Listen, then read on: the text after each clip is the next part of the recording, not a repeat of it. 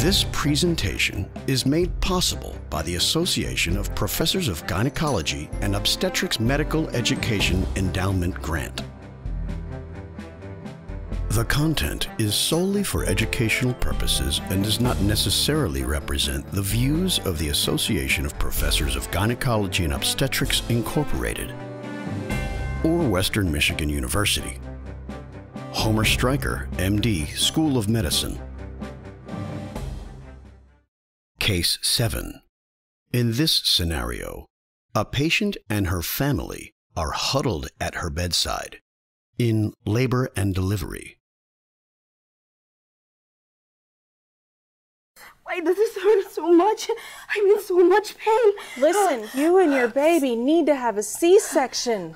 No, no C-section. I cannot have a C-section.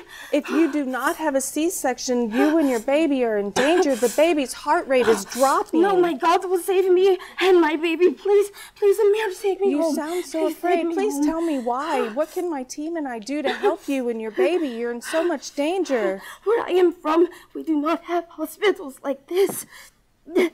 Explain to me. You will cut me and I will die, and so will my baby. Please, just take me home. Please take me home, and we can have the baby there, please. If you go home, it's your choice, but you are taking a huge risk between you and your baby's life. Your baby and you could die. Please, I- let us help you. I saw my pregnant cousin lying in the field cut open, and she died, and so did her baby, and I, I cannot die.